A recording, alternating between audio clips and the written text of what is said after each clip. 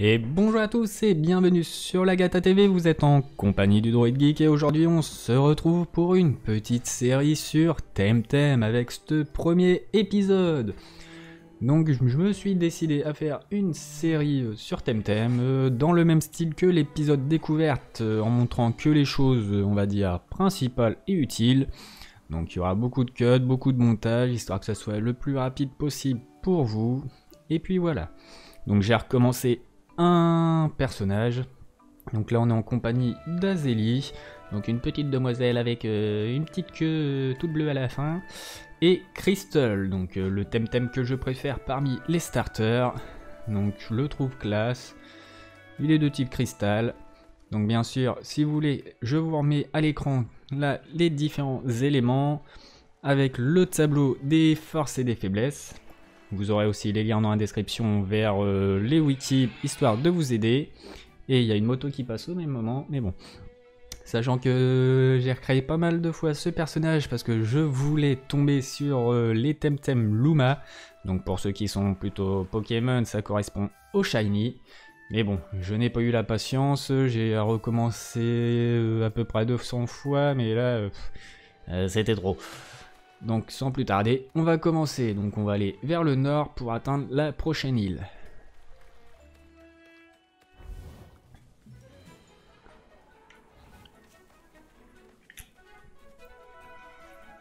Donc pour rappel, comme dans Pokémon, le jeu dispose de hautes herbes, ou d'herbes hautes, c'est plus facile à dire comme ça. Donc dedans on peut rencontrer des euh, Temtem sauvages que l'on peut attaquer ou attraper.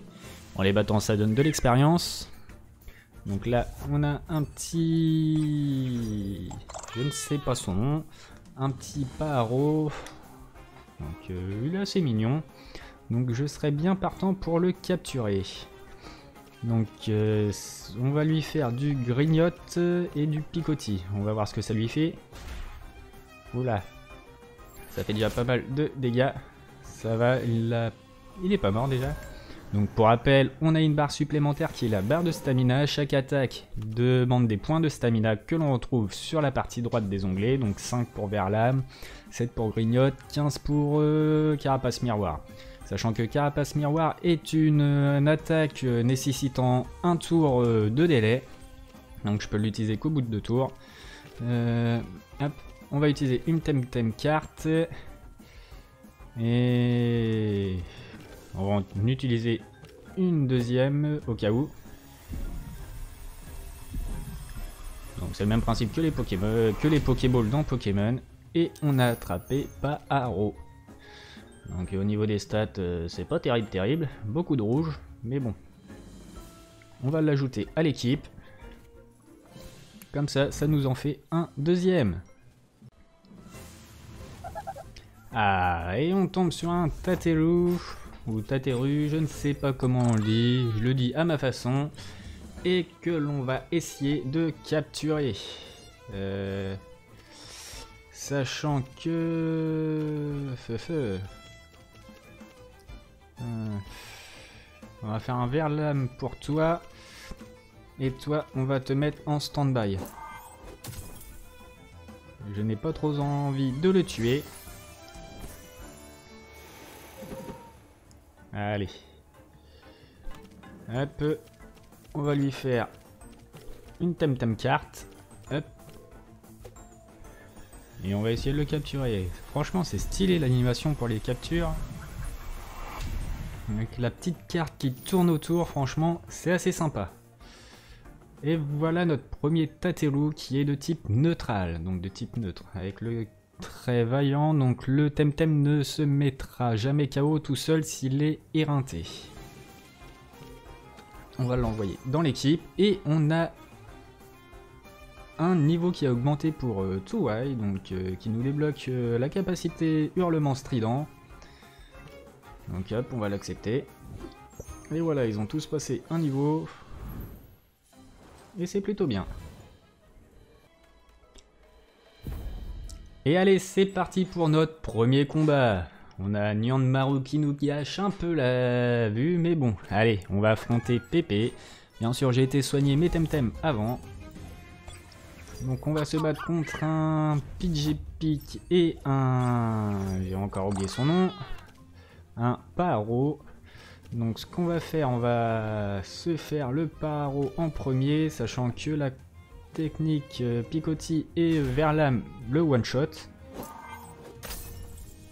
Hop là, donc il y en a déjà un de partie. Donc sachant que le type neutre, il en reste un. Donc euh, il est faible contre le type mental. Donc on va pouvoir y aller avec Verlam et Aérolam. Voilà.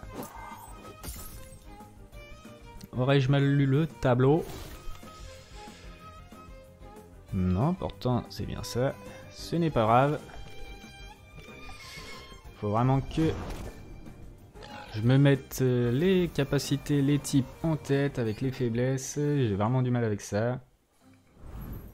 On a récupéré de l'argent et c'est plutôt bien. Donc là, je vais continuer un peu avec le double combat qui arrive juste derrière. C'est plutôt bien. Allez, on va se faire les deux. Et ensuite, je pense que je vais farmer un peu histoire d'augmenter les levels de mes Temtem. Donc là, on va se faire deux Tateru. Donc sachant que je ne sais plus de quel type ils sont. Euh, Tateru. Détail. Il est de type euh, neutre. Donc euh, vu qu'il défend... Euh,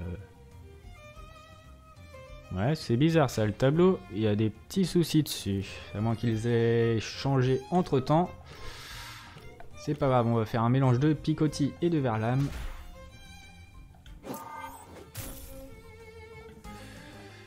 sachant que mon Touai est quand même euh, mal barré. Ouh, ce combat-là, je ne le sens pas. Euh, on va faire verlame sur l'autre et un picotis sur celui-là.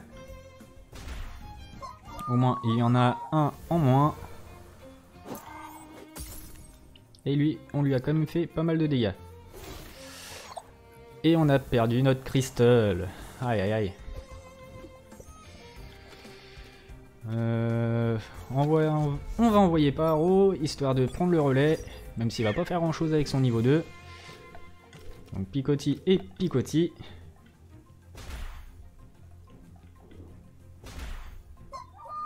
Oh quand même, il fait un peu mal. Ça va permettre de le monter un peu de niveau. C'est plutôt bien. Allez. Bon, c'est parti pour farmer. Euh, ouais. Allez, c'est parti pour farmer. Et je vous retrouve juste après.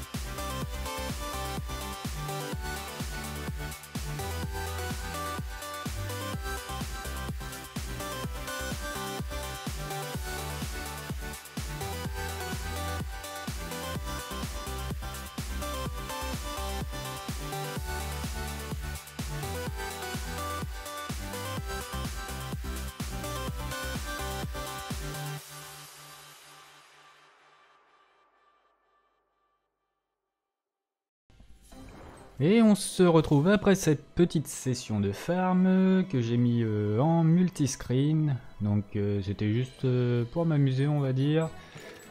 Et donc voilà ce que ça donne après cette petite session. Donc on a Crystal qui est passé niveau 12, Swally niveau 9, Tuwai qui est au niveau 12 aussi.